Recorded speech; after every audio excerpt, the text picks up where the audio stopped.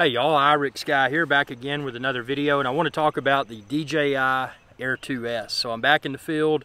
Actually, this is my third time in the field. I did the field and then I did some water type stuff. Check out my videos. But I just want to talk about the uh, DJI Air 2S so far. So as far as as far as build quality, obviously no corners cut. I mean, this thing is just as good uh, from a build quality perspective, in my opinion, as all the previous model uh, Mavic series drones. Now, curiously enough, again, they did not they did not continue with the Mavic badging. It's just now called DJI Air 2S, so no Mavic. Same they did with the Mini, DJI Mini 2. You know, they dropped the word Mavic.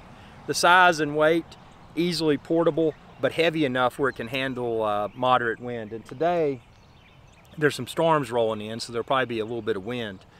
The, uh, excuse me, the controller is, you know, again, it's it's the best design yet in my opinion. Because you get the uh, the top part that pops up and you put your iPhone or Android or whatever in there and then you just pull the little uh, you pull the little connector off. In my case the lightning style connector. This is a radically improved design.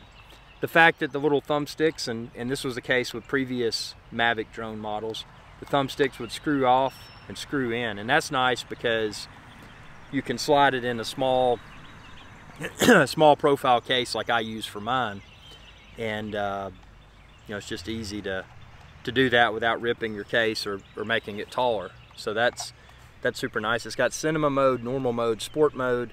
You'll feel, you should feel right at home. If you've flown a drone before, especially a DJI drone, you should feel right at home. If you've never flown a drone, it's super easy to get up and go it feels like a premium uh, video game console controller. So, you know, from a design perspective, man, I mean, I, I absolutely, uh, I'm going to check my phone, make sure I'm still properly aligned here in the camera.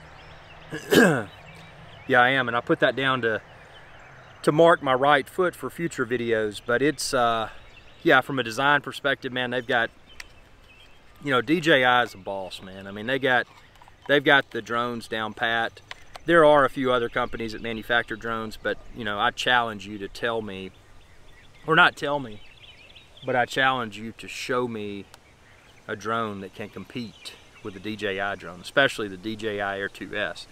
And this drone having the one inch sensor, the level of detail, especially in lower light situations, stay tuned, subscribe to my channel, check out my DJI Air 2S video playlist and you can find uh, all my videos. I'm filming a ton. Right now I don't have a lot of low light videos, but I've got some more, uh, you know, some more that'll, that'll be coming here. But uh, yeah, I mean this thing, the one inch sensor, regular conditions like this, low light, you just get better detail. And the autofocus performance has been on point. You can probably hear that wind, which means it's time for me to do a DJI Air 2S wind performance test.